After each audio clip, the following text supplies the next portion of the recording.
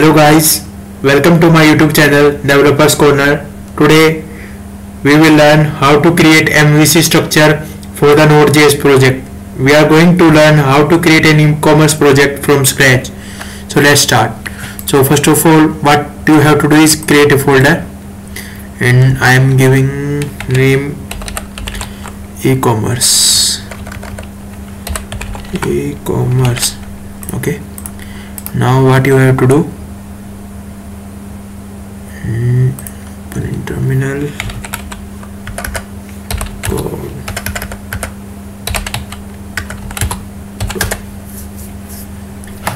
so okay. Now next what you have to do is open terminal here and do npm init. Npm install okay okay okay okay. So guys you can see our package.json is created. So now I am going to create the MVC structure. Controller routes. Oh sorry sorry. Models config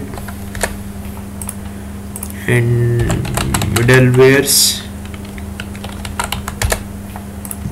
And then we have index.js oh.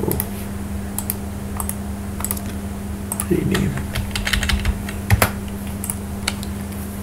And I need some packages like express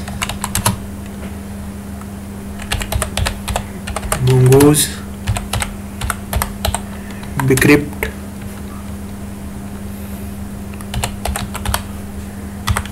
body parser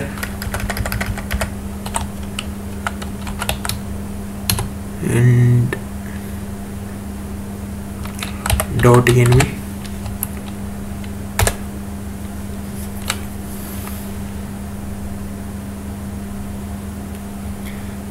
so let's install them so guys this is our MVC structure that we are going to follow for our node e-commerce project.